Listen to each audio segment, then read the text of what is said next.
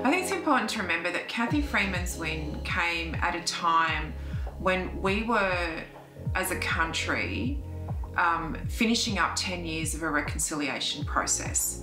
And so, what she was doing was, in a way, her actions were symbolising what the country was actually trying to do. In May of 2000, a quarter of a million people marched across the Sydney Harbour Bridge, and there was a cry for an apology, a plea for a formal apology. So, only months before Cathy ran that race, the nation was marching all around the country actually to make a statement about history in this country. Very different times to now in terms of uh, the visibility of First Nations and what First Nations' relationship to the rest of Australia is. And I don't think, even at that moment when Cathy Freeman won her gold medal, I fully appreciated how important a moment like that would have been for her and for young Aboriginal people, for young girls, for young people of colour.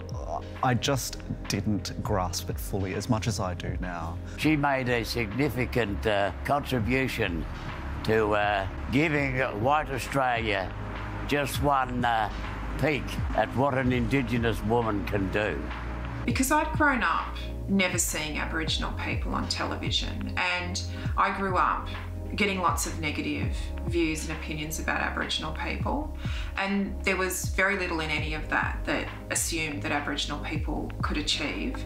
Lighting the torch or lighting the flame and then running in the key event that everybody wanted to see was such a wonderful expression of what Australia could be rather than what Australia is.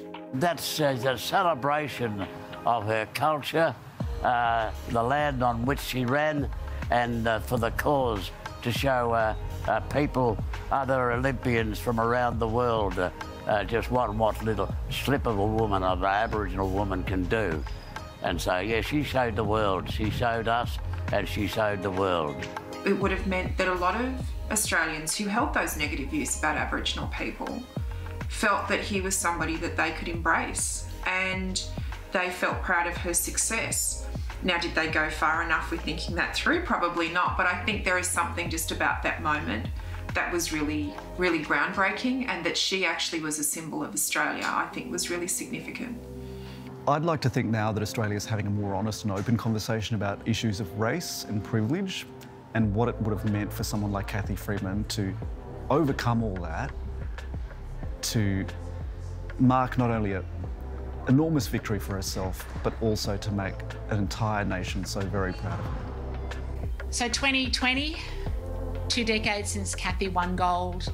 We still love her, we still talk about her. Just recently, we've had, off the back of the Black Lives Matters movement, the Aboriginal Lives Matters and Stop Black Deaths in Custody movements, we are seeing this enormous change nationally where um, tens of thousands of people around the country, literally on a daily basis, are trying to change their ways, to learn, to understand, to listen to Black Australians for the first time for many people. They're walking with us for the very first time, and we're taking baby steps with them because that's what we do. I'm not Indigenous.